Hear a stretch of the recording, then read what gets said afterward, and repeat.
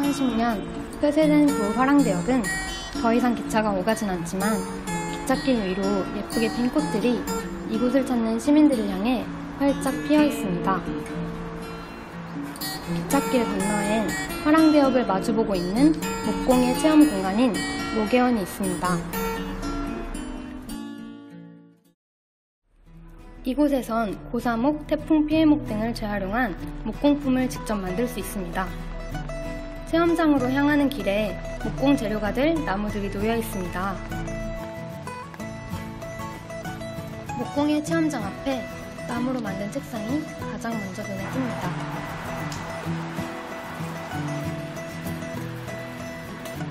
체험교실 안에선 목공 작업이 한창입니다.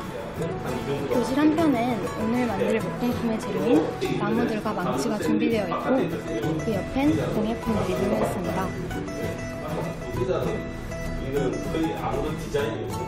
오늘 만들 목공품은 원목 의자입니다. 체험 가족 모두가 목수 선생님의 가르침에 귀 기울이고 있습니다. 아빠와 함께 나무 위치를 맞춰보기도 해보고 아이들이 직접 나무에 풀도 바르면서 부모와 아이가 함께 원목 의자를 만들어 갑니다.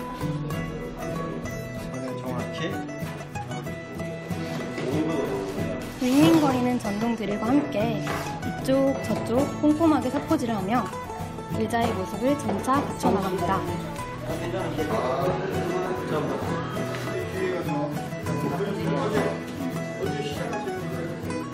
땅땅땅 망치를 두들기기도 하고 목판에 그림들을 새겨넣습니다.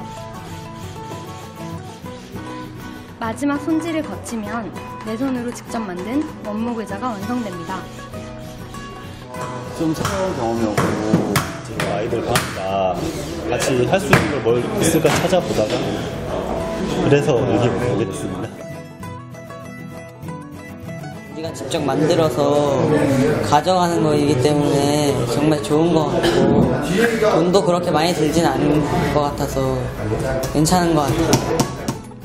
복공 체험장 건너에는 아이와 함께 나무 장난감을 가지고 놀 수 있는 상상 놀이터가 있습니다. 나무로 만들어진 장난감을 가지고 마음껏 뛰어다니고 소꿉놀이도 하며 즐거운 시간을 보낼 수 있습니다.